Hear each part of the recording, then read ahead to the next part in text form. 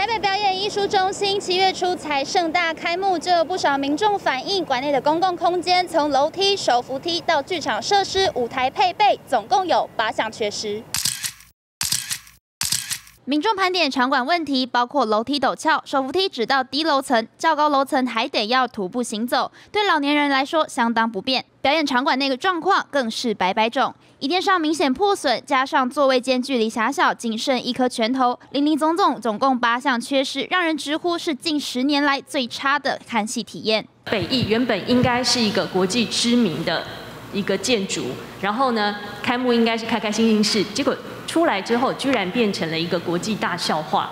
民进党议员看不下去，直指北艺成为国际大笑话。北艺中心则做出回应，是为了让观众距离舞台更近，才缩短座位距离。至于椅垫破损，则会想办法在八月初加工完成。但北艺问题不只有小缺失，验收项目也有多处未完成。哪几项还没完成验收？你知道吗？剧场现在只剩下剧场，还没有完成验收的有哪些呢？包全部都是舞台机械。有大剧场的舞台机械，有球剧场的舞台机械，还有蓝盒子的舞台机械，可能还有升降的，跟载重的，三个场地都是。